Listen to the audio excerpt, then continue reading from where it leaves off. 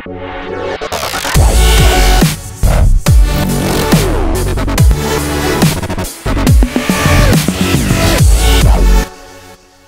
दोस्तों, स्वागत है आपका मेरे चैनल में एक बार फिर से। और आज हम जिस मूवी की समीक्षा करने वाले हैं, उसका नाम है गेम ओवर जिसे निर्देशित किया है अश्विन सरवनन ने। और मुख्य भूमिका में है तापसी पन्नू और विनोदनी। इस फ़िल्म की कुल अवधि है 102 मिनट तो आइए शुरू करते हैं।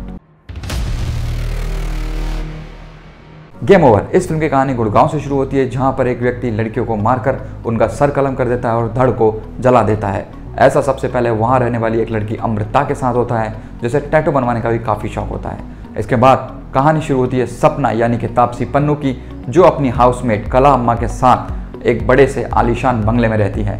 सपना पेशे से गेम डेवलपर हैं, लेकिन उन्हें अंधेरे से बहुत डर लगता है। जिसके कारण उन्हें काफ़ी बार पैनिक अटैक भी आते हैं और इसी के चलते वो ऑफ़िस जाने की बजाय घर रहकर ही काम करती हैं। सपना को एक अजीबोगरीब बीमारी है जिसका नाम है एनिवर्सरी इफ़ेक्ट जिसके अनुसार अगर आपके सामने कोई बुरी घटना होती है, दुर्घटना होती है तो वो आपके दिमाग में छप जाती है और उस घटना की एनिवर्सरी जब आने वाली होती है तो वो सारा घटनाक्रम आपके दिमाग में दोबारा चलने लग जाता है।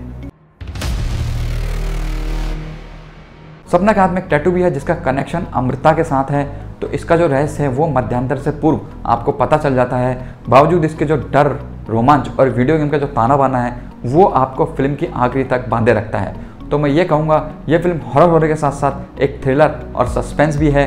तो जिन लोगों को इस तरीके की फ़िल्में पसंद आती हैं, वो इस फ़िल्म को एंजॉय करेंगे। और फ़िल्म की जो गति है, वो कुछ इस तरह से है कि ये आपको अंत तक बांधे रखती है। और आप अपनी सीट पर बैठे बैठे यही सोचते हैं कि अब आगे क्या होने वाला है। तो दोस्तों, अगर रिव्यू पसंद आ रहा है तो जल्दी से मेरे चैनल को सब्सक्राइब ज़रूर कर दीजिए लाइक ज़रूर कर दीजिए, उसके अलावा इस वीडियो को शेयर कीजिए बेल आइकन को भी ज़रूर दबा दीजिए। फ़िल्म के आखिर में कुछ सीन हैं जो आपको अटपटे लग सकते हैं। उसके साथ ही जैसे जैसे फ़िल्म प्रोग्रेस करती है तो आपके दिमाग में भी सवालों के जो उधड़बुन है, वो चालू हो जाती है। लेकिन उसमें से कई सवालों के जवाब हमें फ़िल्म के आखिरी तक नहीं मिलते हैं। इसके अलावा जो फ़िल्म का सस्पेंस है वो जो मध्यांतर के बाद शुरू होता है, लेकिन जैसे जैसे फ़िल्म प्रोग्रेस करती है, वो जो सस्पेंस है, वो जो रोमांच है, वो कम होता जाता है। पूरी फ़िल्म तापसी पन्नू के इर्द गिर्द ही घूमती है और उन्होंने सपना के मल्टी लेयर किरदार को पूरी शिद्दत से निभाया है।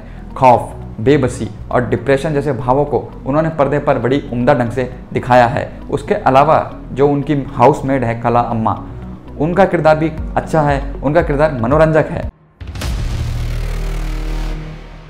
तो ओवरऑल मैं कहूँगा, अगर आपको थ्रिल सस्पेंस हॉरर मूवी पसंद है तो ये मूवी आपकी यूजुअल हॉरर या सस्पेंस मूवी से कुछ हटके है मतलब ये लीक से हटके मूवी है, ऐसा मैं कह सकता हूँ। तो इस मूवी को मैं दूँगा 3.5 आउट ऑफ़ 5 स्टार तो उम्मीद है दोस्तों, आपको ये मेरा वीडियो पसंद आया होगा। और अगर पसंद आया तो प्लीज़ मेरे चैनल को जल्दी से लाइक शेयर सब्सक्राइब कर लीजिए। उसके अलावा बेल आइकन को भी ज़रूर दबा दीजिए, जिससे जब भी मैं कोई नया वीडियो अपलोड करूँ, वो आपके पास सबसे पहले अपडेट हो।